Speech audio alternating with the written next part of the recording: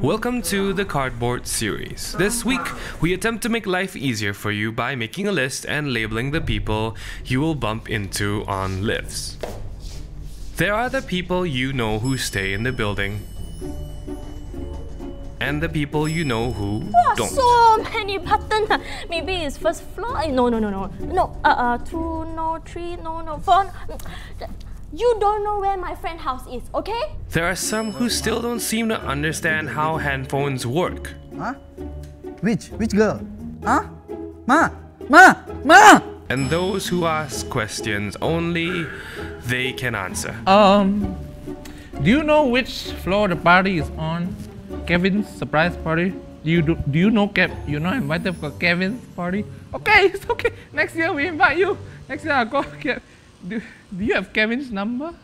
Amazingly, some still believe the more you press, the faster you'll get there.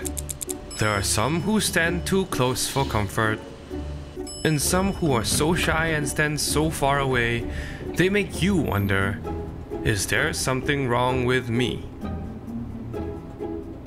Of course, there are those who clearly should not be allowed near lifts.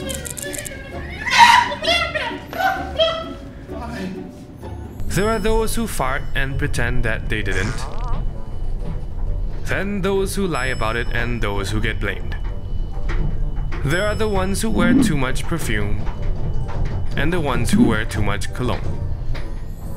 Very rarely, there might be some that make you feel like this will be the last lift you will ever take.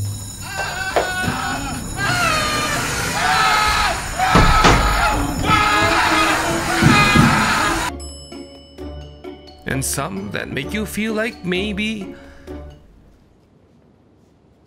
you'll just wait for the next lift.